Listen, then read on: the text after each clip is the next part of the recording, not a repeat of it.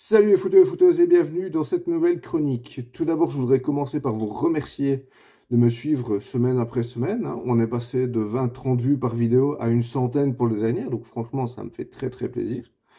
Et puis, bah, c'est que mes talents d'imitateur et rédacteur du dimanche ne sont pas si mauvais que ça. Donc simplement, merci à vous et je vais continuer de croiser les doigts pour que ça continue ainsi. hein. Et donc, on se retrouve aujourd'hui, jour de Blue Monday. Comprenez, le lundi le plus triste de l'année. Mais ici, en Belgique, en dehors de la météo, visiblement, c'était déjà le Blue Weekend niveau footballistique, tant les matchs étaient d'une pauvreté inégalable. Enfin, non, je mens. Il y a quand même eu quelques matchs sympas à regarder, genre euh, Genk, genre euh, Union Antwerp, même si, comme d'habitude, hein, les Anversois n'ont pas su perdre avec dignité et ont remis leur défaite sur les épaules de l'arbitre. hein. C'était tellement malhonnête qu'on aurait cru entendre l'entraîneur Anderlechtois quand il dit que les Mauves ont mérité un point face à Bruges. Enfin, il l'a pas dit tel quel, mais pas loin. Alors, je sais que le rôle du coach, c'est de trouver du positif, même là où il n'y en a pas, pour remonter le moral des troupes. Mais là, euh, non, il n'y en a pas en fait. Le, le niveau de jeu des Mauves était juste abyssal. On pourrait même parler de trou noir de créativité, tellement il n'y avait rien à en tirer. Et franchement, heureusement que Bruges est très mauvais depuis quelques semaines, parce que sinon c'était un score de tennis en fait. Alors déjà que c'est le bordel dans les bureaux, au point qu'on ne sait plus vraiment qui dirige le club, voilà que maintenant en plus c'est- pareil sur le terrain. Et c'est même pire. Quand Anderlecht marque, c'est même pas un Anderlechtois qui marque. Alors du coup, bon, on entend gronder la révolte des supporters. Enfin, révolte. Tout doux, hein, c'est pas le standard. On parle, des fans mauves, hein. Donc si on enlève les ultras, bah il reste plus que euh, des buveurs de champagne et des bobos bouffeurs de graines. hein. Donc quand je dis révolte, une petite soufflante, là, vous savez, hein, bon. Mais bon, les prochains jours vont nous dire comment le club va évoluer, hein. Il est encore temps, mais il faut se bouger si on veut se sauver pour les playoffs 2. Sinon, bah, vous lutterez pour la relégation. Même si à ce niveau-là, euh, Serein euh, a déjà bien creusé. Hein. Et en parlant des playoffs 2, vous vous rappelez qu'au départ, ils ont inventé le système des playoffs, soi-disant pour relever le niveau du championnat, mais surtout pour avoir plus d'affiches et plus d'argent à vendre les matchs à la télé. Eh bien, figurez-vous qu'il existe une toute petite possibilité cette année de retrouver nos trois grands clubs, on va dire, Bruges, Anderlecht et le Standard, dans les playoffs 2. Alors, on est d'accord, je dis vague, hein, il faudrait que beaucoup d'astres s'alignent en même temps pour que ça arrive, mais c'est possible. Et si ça devait être le cas, je pense que je pourrais en rigoler pendant des semaines. Parce que, franchement, bon, les playoffs 1, on se retrouvait avec Genk, l'Antwerp, l'Union et Gand. Ça a quand même de la gueule. Mais ça ne vaut pas euh, Bruges, Anderlecht, Standard d'il y a 10 ans, quoi. On- soyons, soyons honnêtes. Donc, ça peut être très drôle d'avoir des playoffs 2 qui seraient plus suivis que des playoffs 1.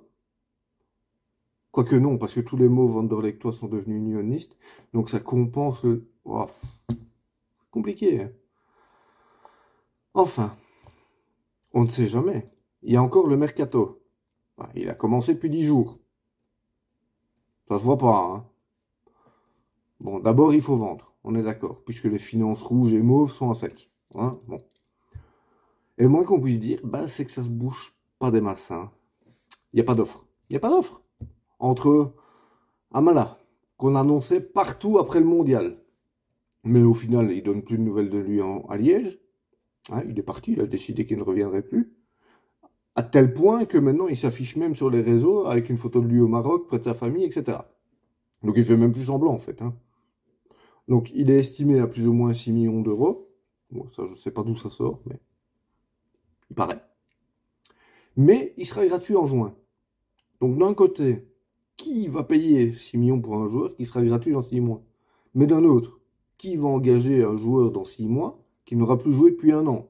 Puisque ça fait un an qu'il ne joue plus au standard. Hein? En plus, surtout s'il reste les 6 prochains mois au Maroc à fumer des chichas et à manger des pâtisseries, là. Vous savez, celles qui font prendre du poids rien qu'en les regardant, là. Ah ben, va être beau sur le terrain. Déjà que je ne l'aimais pas. Pareil pour Raskin. Hein.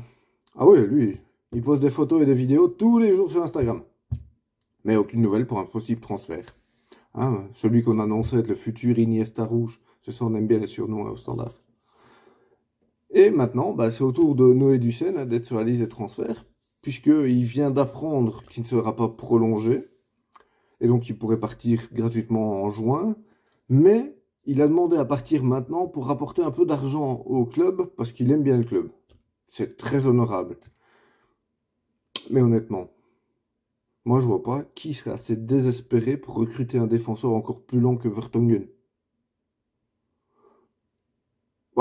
Enfin, je, je, je suis méchant parce que en vrai, je peux pas le critiquer. C'est le meilleur buteur du standard.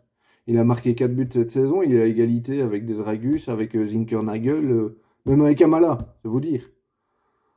À la limite, il pourrait être une solution au problème de finition mauve. Ouais, je dis ça. Je dis rien. Vous me connaissez. Deuxième sujet que je voulais aborder vite fait, c'est l'arbitrage. Que ce soit en Belgique, en Angleterre, en France, on a l'impression que le niveau n'en finira jamais de régresser. Par exemple, la semelle de Le Point sur Tchanak. La terre entière peut vous dire que ce sera un carton rouge. Mais les quatre arbitres sur le terrain, plus les trois oiseaux dans la camionnette en train de boire leur apéro, ne l'ont pas vu. Donc ce sera juste une jaune. Mais pareil, que ce soit en direct ou en replay, personne ne l'a vu. Non, non, c'est normal. C'est le point. Et pareil en Angleterre, hein, dans, le duel euh, mancunien en soi, je suis content. Parce que euh, les Reds l'ont emporté face aux, milliards euh, des Citizens. Mais, comment on n'annule pas le but de Fernandez? Comment on ne se rend pas compte que Rashford influence la course des défenseurs et même le placement d'Ederson? Je, je suis très ouvert d'esprit, mais non, je ne comprends pas. Du coup, j'en suis sincèrement à me demander pourquoi on paye les gars du VAR, puisque de toute façon, ils ne disent rien, ils ne servent à rien. Alors, petite euh, anecdote euh, concernant le championnat anglais, avec Hugo Loris qui a annoncé il y a quelques semaines sa retraite internationale. Mon petit Hugo, vu ce que tu as encore fait ce week-end, est-ce que tu ne penses pas que tu aurais dû annoncer ta retraite tout court? Parce que quand on est au point de faire ça devant ton goal, mais que la balle, elle passe quand même là, il y a peut-être un problème de justesse ou de vision pas, mais des lunettes peut-être? Sinon, pour finir, je tenais à noter que visiblement mes chroniques sont écoutées par les hautes instances, puisque suite à ces dernières, Thierry Henry a officiellement annoncé qu'il ne coacherait pas les diables. Amen. Il existe une divinité là-haut qui nous aime encore un peu. Et surtout, Noël Legrette a été démis de ses fonctions. Alors bon, c'est toujours pas à cause du possible harcèlement sexuel, mais suite à ses propos envers Zidane. Comme quoi, dans le football, on peut palper autant de pognon et de ce qu'on veut, tant qu'on ne touche pas à ceux qui font vendre du rêve et des livres aux gens. Bonne semaine les amis.